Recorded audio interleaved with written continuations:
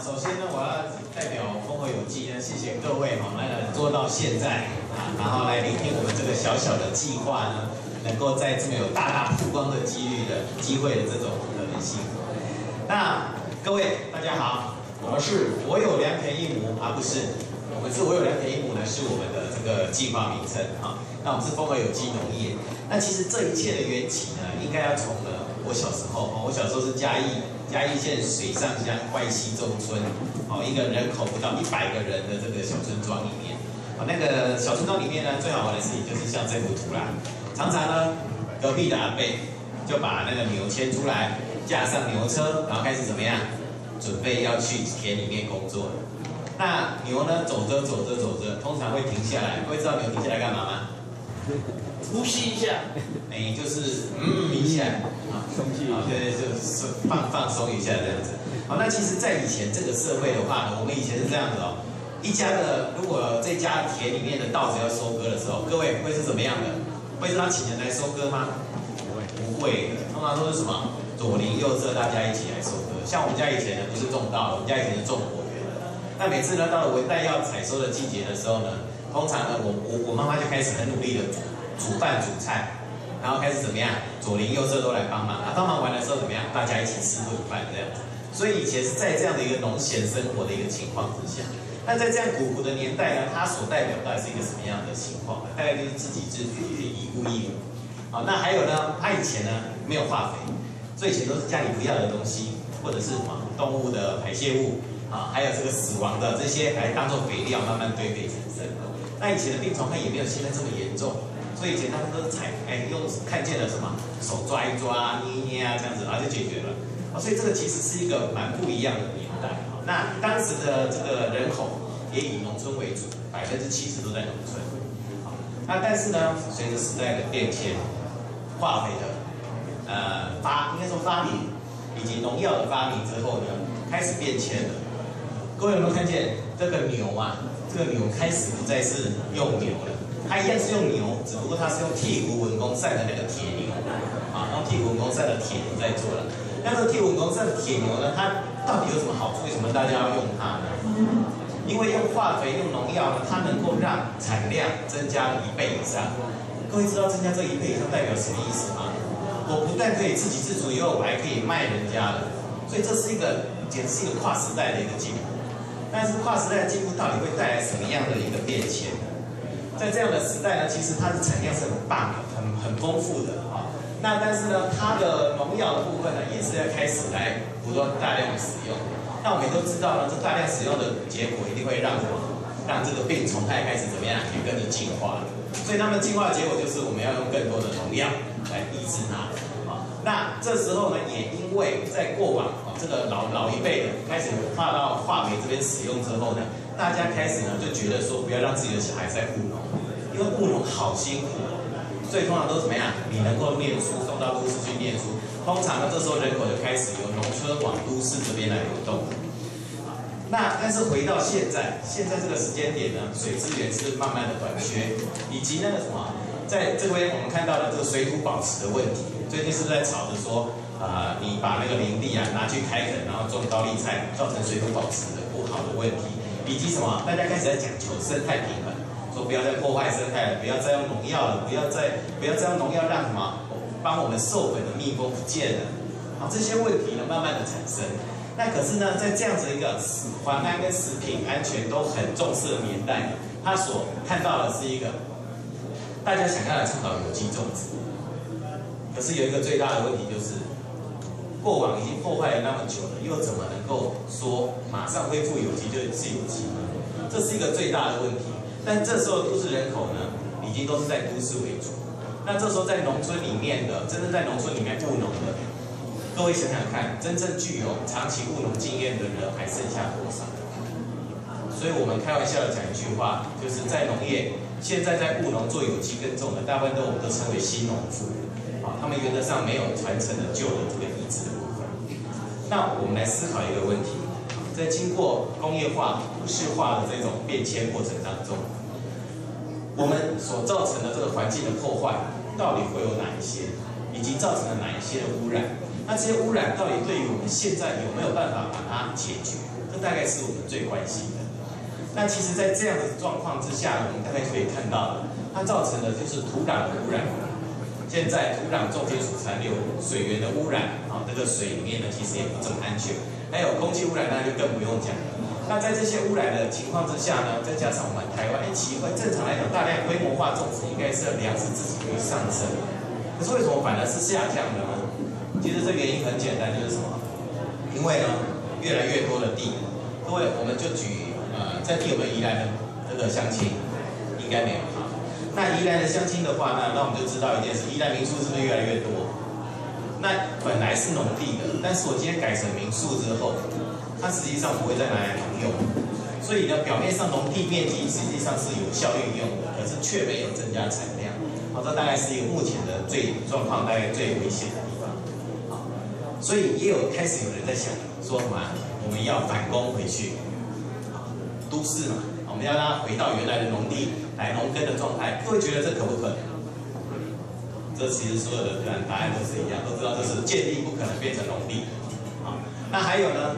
有机种植，有机种植实际上我们都想到一件事，不用农药。那不用农药，那我们就试问各位，现在的病害虫害其实上并没有减轻。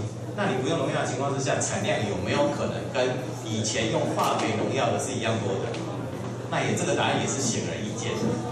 那加上有一个问题就是呢，常常啊有有有机农产品被验出来说有农药残留，然后他们都会说一句什么？那是隔壁的，对，好，那这个呃是不是隔壁的我们不知道，但是我们确定的是什么？风会吹，水会流，虫会飞，所以在这样的情况之下呢，你说农药有没有可能是隔壁的？还真的有可能是隔壁的，啊，但是这样子来讲，就是实际上是会变成有机的，不一定那另外最严重的大概就是一个科学化制作的这个有机肥料，以前的是什么？慢慢堆，大概半年到一年才有可能变成肥料，但是现在最快号称二十四小时可以变成有机肥料。那所以我们就知道一件事，肥料的部分就已经差距很大了，啊，差距很大。那这台北前台北市长黄大洲先生，他曾经就讲过了，我们在地面上失去的农田，我们要在空中找回来。好，那空中各位，空中哪里？台台北市的空中有哪一些？大概就是屋顶啊。所以他当时曾经提出就是所谓的屋顶农田的概念，可是好像没有确实的有办法去执行。那屋顶农田的概念，简单来讲就是这样子。那各位想想看哦，在屋顶要种菜，你觉得会有哪一些你会担心的？如果你是这个住户的话，你会哪些担心的？漏水。漏水，大家都想到漏水，所以我们就知道一件事什么？防水工程不可少。那可是防水工程，原则上那个一做就是什么很昂贵的啊。简单来讲就是 PU 铺上去，大概可以防水。但是呢，它有没有使用年限？有。它有没有呃保证不会漏水？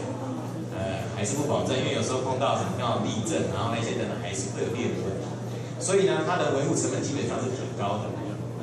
那这时候呢，又有更聪明的人想出了所谓的 vertical farm，也就是垂直农场的概念了。我如果用垂直农场的概念的话，我是不是可以解决这样的问题？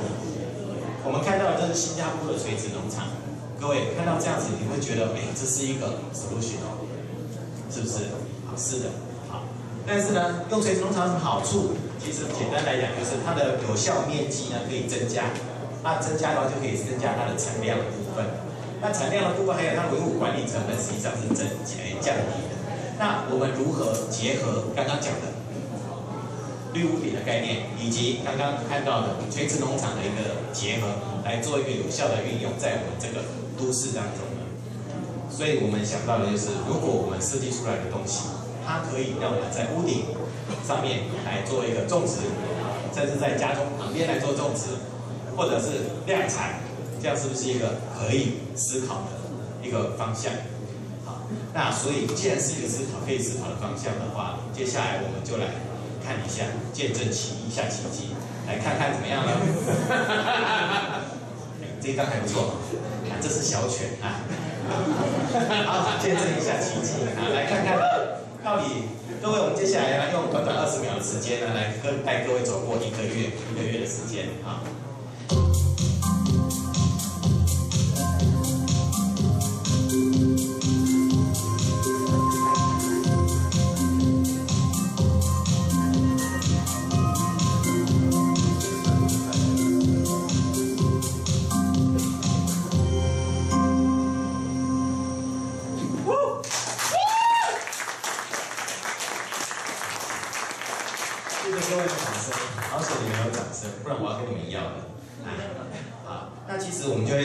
件事，就是说，呃，这个过程当中呢，当你各位看到了这个东西，你觉得它可以应用在哪里？可不可以应用在家中？可以，可不可以应用在屋顶？可以可不可以应用在量贩型农场里面？可以是可以的。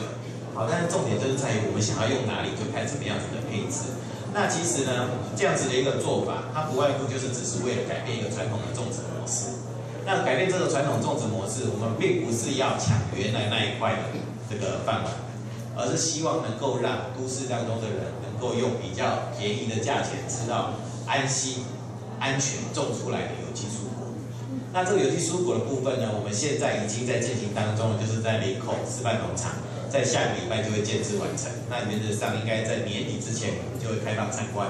好，那绿屋顶的这个合作计划呢，我们目前已经谈妥，在新北市有一家全素食餐厅，它的屋顶打算要大概将近三百平的空间，打算要来打造成一个绿屋顶的一个生菜，应该算生态菜园啊。它因为它专门做素的嘛，啊，它要种植各种的这个菜类。